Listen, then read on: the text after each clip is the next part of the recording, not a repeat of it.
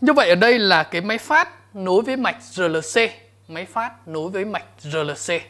À, như vậy cái máy phát điện xoay chiều một pha nối với mạch nối tiếp RLC.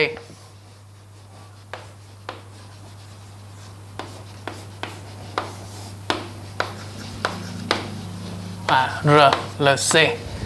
Trong mạch để trong mạch có cộng hưởng, cộng hưởng điện thì có nghĩa là tần số omega cộng hưởng bằng 1 trên căn LC.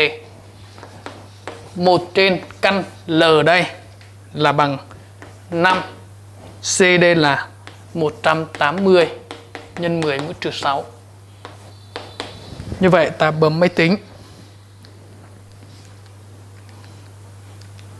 5 180 10 mũ trừ 6. Như vậy cái này chính là bằng 100 phần 3 radian trên giây. 100 phần 3 radian trên giây.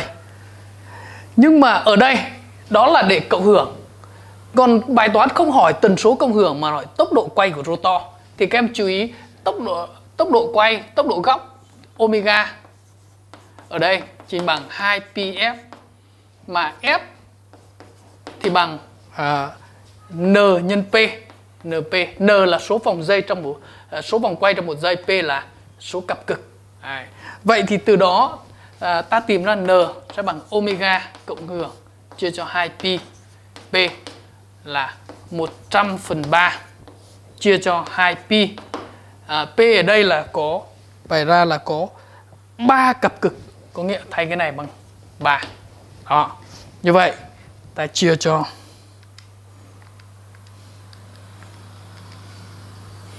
Như vậy cái này sấp xỉ bằng à 1,8 1,8 vòng trên giây sấp xỉ bằng 1,8 vòng trên giây mà 1,8 vòng trên giây thì có nghĩa là chọn phương án D. Đó.